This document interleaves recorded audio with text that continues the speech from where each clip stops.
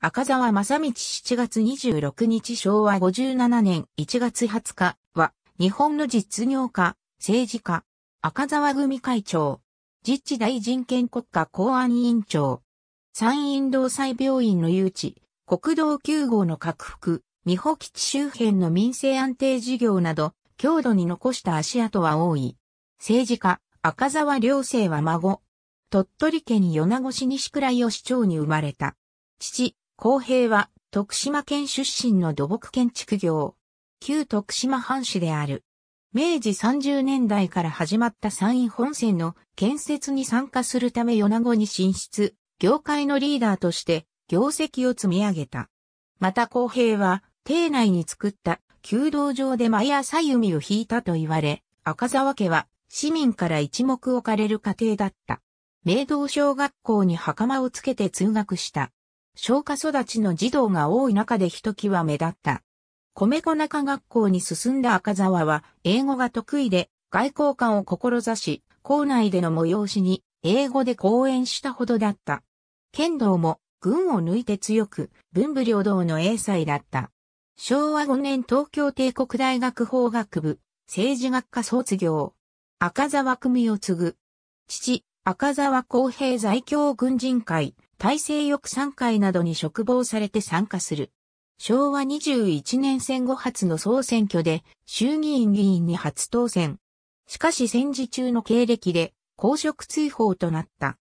解除後、昭和28年の総選挙で返り咲き、衆議院議員当選9回、通算24年10ヶ月勤続した。三木派に属し、三木武夫の盟友として知られた。第3次池田内閣、第2次、佐藤内閣第1次改造内閣で、実地大臣権国家公安委員会委員長として入閣した。昭和57年1月20日死去。戒名は、大徳院伝ハレウン人格制度を大古寺。前列右から坂口淳三、小田治、赤沢正道、坂口昇。後列左から西賀愛蔵、上原淳三、坂口平兵衛。坂口平米井誠追回録6から7ページによると、昭和39年、遠石の森病院で、当時2000万円の脱税が発覚。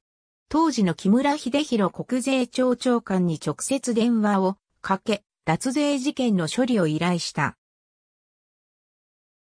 高杉良著、不当不屈182ページによると、5点、山病院の並木院長から呼び出しを受けた。森病院の件はあっけなく済んじゃった。遠石の自民党の赤沢大義氏に連絡して、赤沢さんから木村長官に一本電話を入れたら、長官から鹿沼税務署に電話が来て、慌てふためいた総務課長が森さんの家にすっ飛んできたらしい。それで、どうもご心配かけてすみませんでした。で一件落着ですよ。森病院の2000万円の件はパーになっちゃった。飯塚さんもこの流儀でやれば、どうってことなかったのにね。昨年12月1日に、森病院の森昌司副院長から、今回の調査で2000万円ばかりの隠し預金が、東京の銀行から出ちゃったと恨みがましく言われたことを、飯塚は思い出した。国税庁の長官自ら、脱税に組みしていたことになる。飯塚は返す言葉がなかった。という。趣味は、読書、囲碁、スポーツ、剣道。宗教は新言宗。住所は米子市日の出町。ありがとうございます。